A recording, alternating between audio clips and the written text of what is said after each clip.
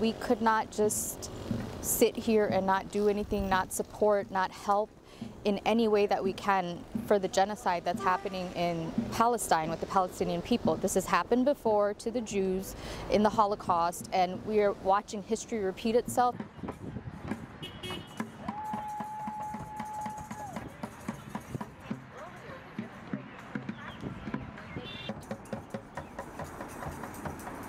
We're seeing another genocide. There are many genocides that have happened since the Holocaust, and uh, they all need attention. And this one in particular uh, is being done uh, with the false premise of protecting Jews.